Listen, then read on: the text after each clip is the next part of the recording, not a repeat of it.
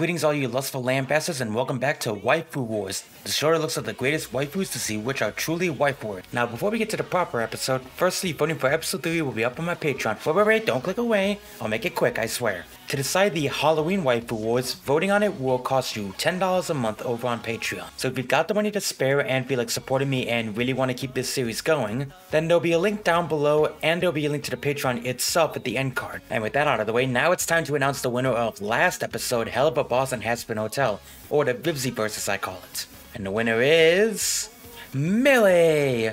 Yeah, her and Charlie were actually very close with Millie winning by one vote, and Loona being dead last.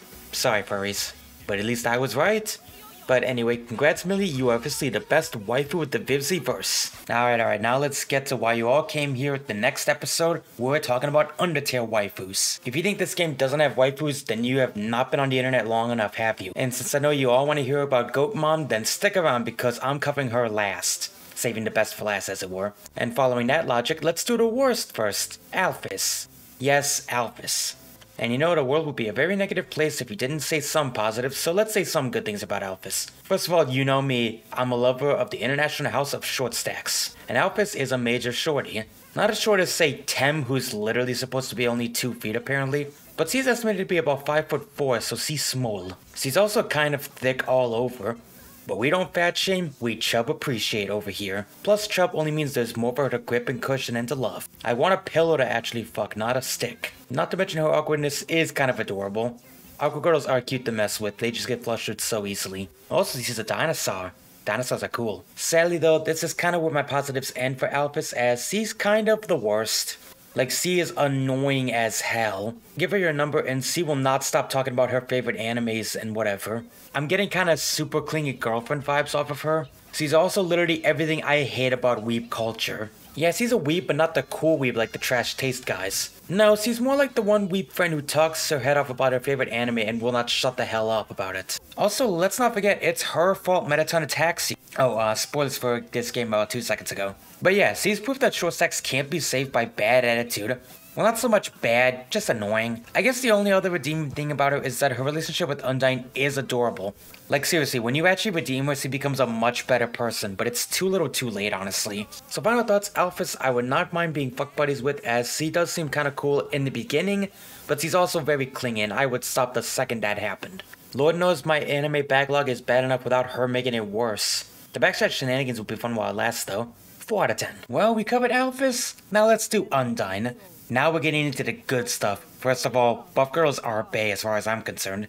Just muscles all over, not just her arms, but her belly. I mean, you could probably grate cheese on there. I don't care if they're blue. Ripply blue fish muscles are awesome as far as I'm concerned. I just want to put my head right between those thick thighs and have her crush me like a watermelon. Sure, she's probably a member of the blue fish group with the way she looks, but that probably just means she can dance and use those spears for...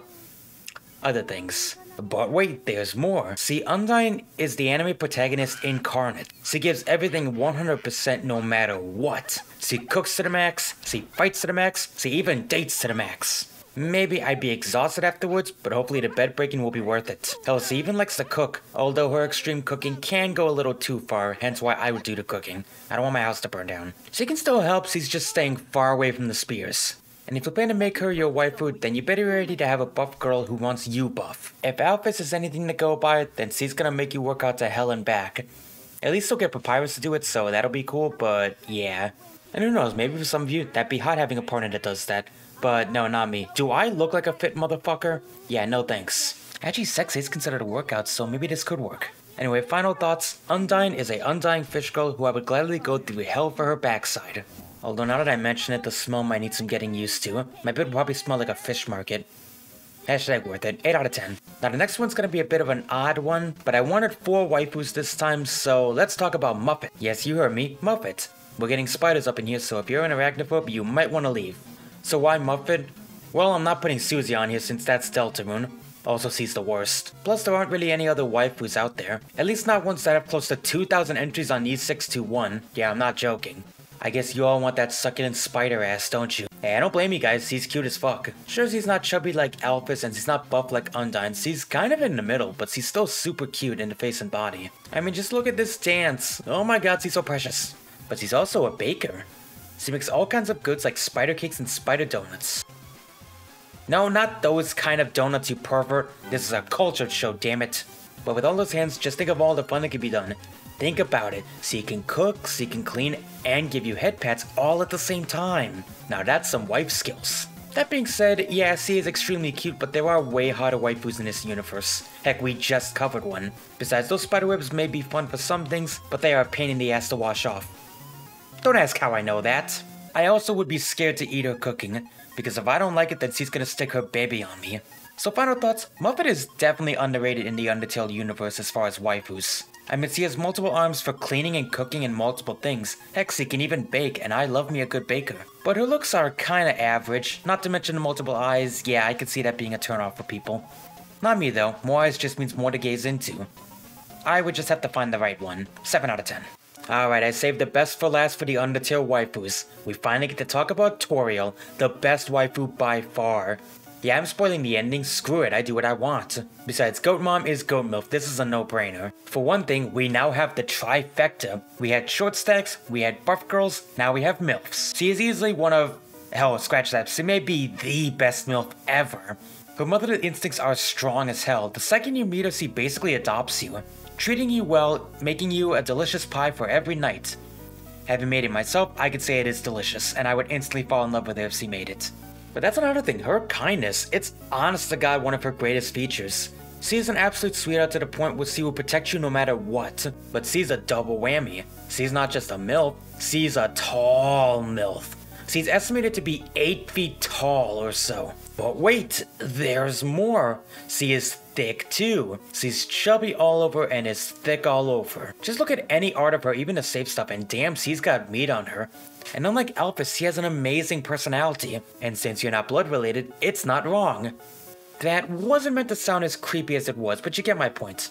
There is honestly something great about someone who has a hot body but is wholesome. And yes, she is wholesome, I prefer that interpretation honestly. I don't know why I consider that hot. Maybe it's just a wholesome personality combined with a hot body. So final thoughts? Man, weren't you listening? She's thick and tall with an amazing personality and she's a MILF. She's honestly someone I would love to have in my life. Also, I bet she is soft with her fur, so sign me up for that pie, 10 out of 10.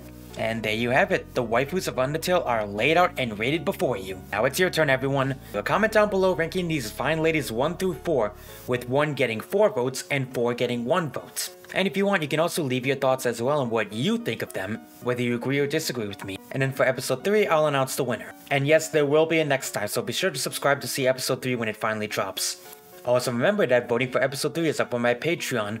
We got some interesting choices since we're covering Halloween. But that's all I got for you. I'm the Watchful One saying keep on watching and happy waifu hunting.